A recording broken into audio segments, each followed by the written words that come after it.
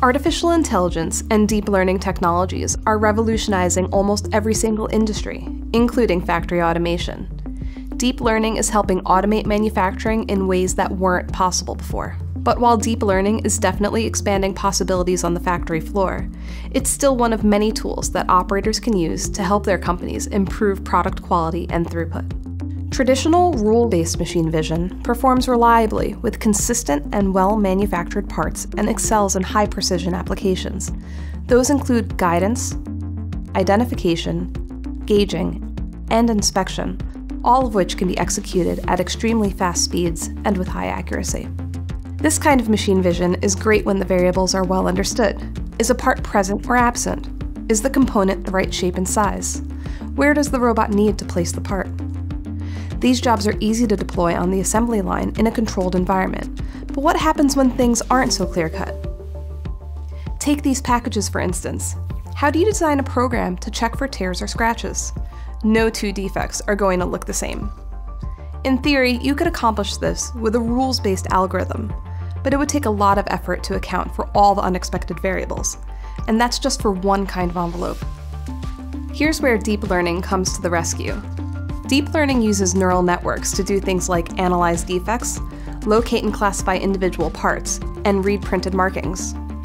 By teaching the network what a good part is with a batch of examples, it will be able to tell the difference between a good envelope and a defective one, accounting for those expected variations.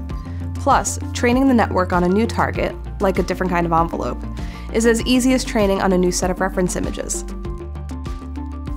Oftentimes, identical parts can appear differently to a camera. Glare can make a part look too bright, parts can be oriented in different directions, or just have too much natural variation to locate reliably with traditional rules-based vision tools. But just like before, by providing a deep learning enabled vision system with enough sample images, it can locate and identify parts with ease, for applications with this level of nuance, deep learning can often perform better and faster than other vision technologies at the same task. Deep learning is now being used in applications where inspection has typically been done manually, like final assembly check. These tasks were once considered too difficult to automate.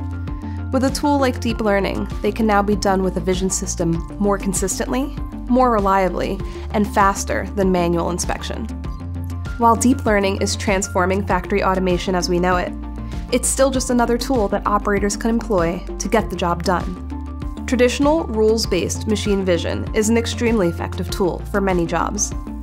And for those complex situations that need human-like vision with the speed and reliability of a computer, deep learning will prove to be a truly game-changing option.